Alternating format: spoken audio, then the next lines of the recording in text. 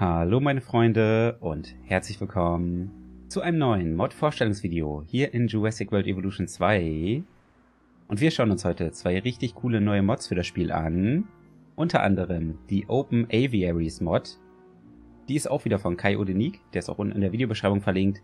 Schaut auf jeden Fall vorbei, lasst da mal ein Abo da, weil der macht richtig coole Mods. Und mit dieser Mod haben wir auch wieder coole neue Baumöglichkeiten. Die schauen wir uns jetzt mal gemeinsam an. Nämlich kommen dadurch... Moment. Zwei neue Aviarien ins Spiel. Einmal die Open Aviary und einmal die Invisible Aviary. Nämlich kann man bei der Open Aviary das Ganze sehen. dass, äh, da hat man dann nur diesen Rahmen und keinen Käfig mehr. Was echt cool ist. bei der Invisible Aviary hat man gar nichts mehr. Und man kann hier auch innerhalb dieser Aviaries das Ganze komplett mega gut bearbeiten. Also auch ohne Begrenzung. Das wurde auch alles aufgehoben. Man kann jetzt auch hier das Ganze absenken. Also da kann man jetzt viel besser alles fertig bearbeiten und verändern. Hier geht natürlich genauso. Hier könnte man jetzt auch wieder Gras und so drüber machen. Dann würde man diesen Rand zum Beispiel auch nicht mehr sehen. Größer machen könnte man das natürlich auch. Jetzt kommt natürlich ein Sturm, aber das soll uns nicht aufhalten. Hm. Ansonsten haben wir hier, glaube ich, auch bei den normalen noch eine Veränderung. Nämlich hier können wir jetzt auch das Terrain ohne Probleme bearbeiten. Ja, der Tornado gleich direkt hier. Alles klar. Ist ja quasi wie in Real Life heute. Bei den Stürmen.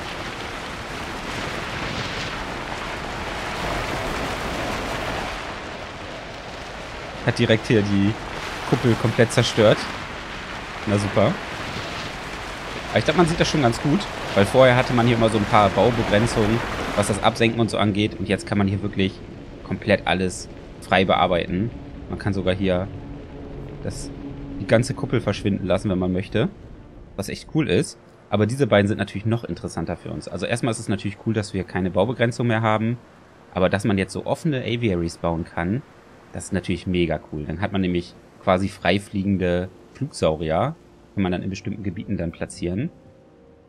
Ich würde sagen, wir machen das mal mit der Invisible Aviary. Das ist nämlich nochmal eine ganze Nummer cooler. Da können wir jetzt ja mal eben so ein, eine Brutstätte reinbauen. Und dann können wir gleich mal gemeinsam Flugsaurier freilassen. Und jetzt haben wir hier unsere Flugsaurier ganz normal in diesem Bereich am rumfliegen. Ist halt eine ganz normale Aviariumskuppel, nur in unsichtbar. Jetzt könnte man zum Beispiel auch das hier noch entfernen. Dann würde man gar nichts mehr sehen, außer diesen Rand. Den müsste man jetzt noch gut gestalten und verdecken. Und dann wäre das echt cool. Dann würden die halt echt frei rumfliegen. Bäume platzieren kann ich jetzt leider nicht mit diesem Tool. Aber wir haben ja mittlerweile zum Beispiel auch diese Pflanzen, die man platzieren kann, so. Mit Mods. Und da könnte man das Ganze dann natürlich hier schön verdecken und einbauen. Das natürlich jetzt in Kombination mit mehr Mods noch. Das ist jetzt hier diese Scenery Mod. Und die Free Build Mod habe ich jetzt ja auch noch verwendet. Und dann kann man das hier wirklich komplett verstecken, den Rand. Könnt auch hier Felsen hinmachen. Das müsste man halt jetzt schön gestalten. Das werden wir dann nochmal irgendwie in einem Parkbauprojekt oder so testen, denke ich. Aber ich glaube, man sieht schon ganz gut, in welche Richtung das geht. Man hat dann halt wirklich keinen Käfig mehr. Bringt wieder viele neue Baumöglichkeiten für uns in das Spiel. Guck mal, hier kann man auch alles verändern vom Terrain, also das ist gar keine Begrenzung. Müsst halt echt nur den Rand so ein bisschen überdecken. Oder man könnte das halt auch mit dieser anderen Möglichkeit hier machen, das hier.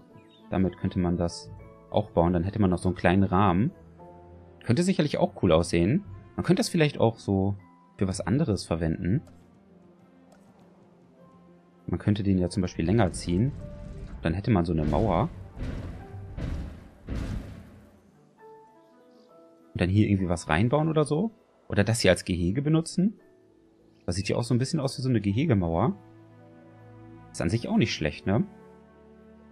Weil das kann man ja auch komplett verändern. Könnte man zum Beispiel das auch so machen, dass dann nur so die, die Spitze rausguckt. Aber da fallen mir so viele Sachen ein. Ist halt immer echt cool, wenn man keine Baubegrenzung hat. Dann hat man halt hier nur so einen kleinen Mini-Zaun. Oder so ein Mini-Geländer. Ich denke mal, man sieht schon ganz gut, in welche Richtung das geht. Ich frage mich ja ehrlich gesagt, was passiert, wenn ich jetzt hier das Wasser entferne und dann das Terrain mega anhebe. Weil normalerweise ist ja hier auch eine Kuppel. Und jetzt wäre ja das Terrain komplett über der Kuppel. Aber wahrscheinlich fliegen die Flugsaurier dann in dem Terrain rum. Also ich denke mir, ihr wisst, was ich meine. Das ist jetzt halt quasi genauso, wie ich es hier gemacht habe. Dass ich das Terrain einfach durch die Kuppel gezogen habe. Und dann die Flugsaurier eigentlich gar keinen Platz mehr haben für irgendwas. Okay, aber das scheint mir so, als wenn die dann in dem Terrain rumfliegen. Da muss man dann halt ein bisschen aufpassen, dass man das einigermaßen vernünftig macht. Oh nee, die kommen sogar da oben raus. Oha. okay, sehr interessant. Und als zweite Mod für heute haben wir dann auch noch die Open Lagoons. Da haben wir dann auch neue Lagoon-Gebäude. Nämlich insgesamt drei Stück. Das hier sind die Standarddinger. Und dann haben wir einmal diese hier. Das ist eine ganz normale Lagune. Allerdings können wir dort das Terrain dann selber bearbeiten. Das heißt, ihr seht hier noch gar kein Wasser. Man müsste jetzt erstmal selber das Wasser einzeichnen. Aber das ist richtig cool. Dadurch kann man halt die Lagune dann auch selber gestalten, wie man möchte. Also indem ich hier das Terrain halt absenke, kann ich hier dann das Ganze einzeichnen. Da kann ich dann auch hier zum Beispiel eine Insel in die Mitte machen. Und dann könnte ich auch hier drin alles gestalten. Zum Beispiel hier auch wieder Felsen mit reinbringen. Oder Pflanzen mit reinbringen. Sieht bestimmt cool aus, wenn man dann hier einen Moser freilässt. Man könnte dann natürlich auch hier diese Ränder zum Beispiel überdecken. Dann wird man die gar nicht mehr sehen. Also das ist schon echt cool. man kann hier halt auch wirklich so tief einzeichnen, wie man möchte. Oder so flach einzeichnen, wie man möchte. Könnt ihr zum Beispiel auch so richtig flaches Wasser nur machen. Da gibt es auch wieder so viele Möglichkeiten. Aber wir schauen uns jetzt erstmal die anderen noch an hier. Da haben wir nämlich auch noch diese hier.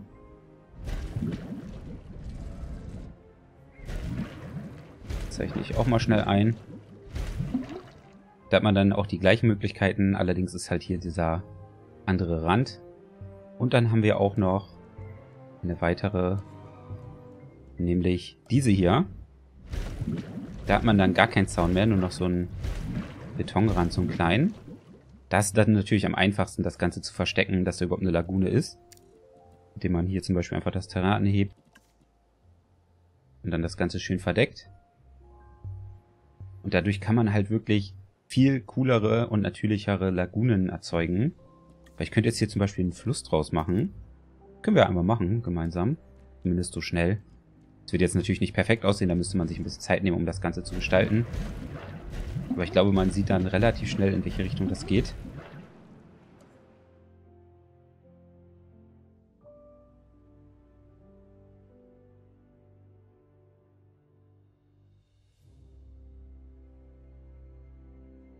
So. Und dann müsste ich jetzt hier zum Beispiel noch das Ufer gestalten und sowas.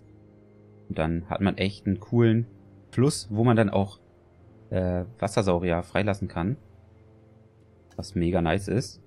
Ich würde sagen, wir lassen jetzt mal hier einen Moser frei und dann schauen wir uns das mal an. Und da kommt der Mosasaurus.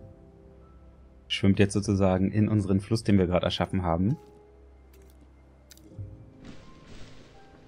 Dürfte man jetzt eigentlich auch alles Ah gut, an den Rand kann ich hier nicht bepflanzen. Das ist interessant. Das heißt, das müsste ich dann auch wieder mit den anderen Mods machen. Mit diesen selbstplatzierbaren Bäumen. Da könnte ich dann auch hier das Ufer und so vernünftig noch gestalten. Werde ich mir natürlich jetzt hier nicht die Zeit nehmen. Aber da könnte man dann echt so einen richtig natürlichen Fluss machen, in dem dann zum Beispiel ein Moser schwimmt. Was ich mega cool finde. Weil solche Möglichkeiten hatte man vorher halt gar nicht.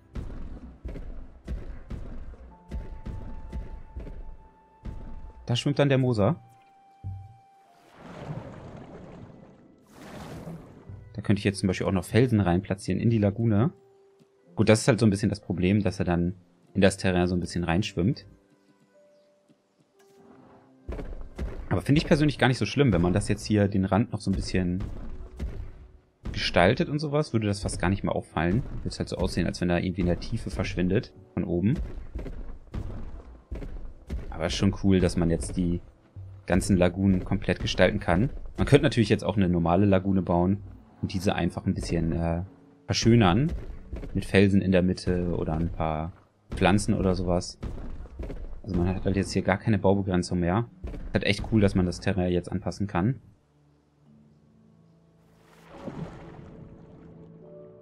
Denke, man sieht auf jeden Fall, in welche Richtung das geht. Und ja, Leute, das soll es jetzt auch schon mit diesem Mod-Vorstellungsvideo gewesen sein. Ich denke, ihr habt ganz gut gesehen, was diese beiden Mods können. Ich finde die richtig cool. Sind wie gesagt mal wieder von Kai Udenik. Die beiden Mods sind natürlich auch unten in der Videobeschreibung für euch verlinkt. Und falls euch dieses Video gut informiert hat, würde ich mich über ein Like freuen. Ich wünsche euch jetzt noch einen angenehmen Tag. Macht's gut, haut rein. Euer Dandy.